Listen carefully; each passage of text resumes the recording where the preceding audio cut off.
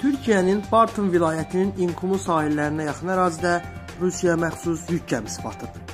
Qlobal xəbər Türkiyə mediasına istinadən xəbər verir ki, Bartın valisi uzunluğu 200 metr olan gəminin dalğalar səbəbindən Qara dənizin İnkumu sahilinə çata bilmədiyi və gəmidə 15 nəfərlik heyətin olduğunu bildirdi.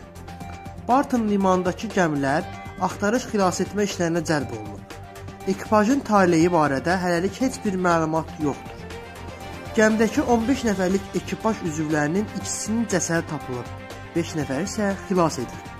İlkin məlumata görə gəminin batmasına əlverişsiz hava şəraiti səbəb olub. Axtarış xilasetmə tədbirləri davam etdirilir.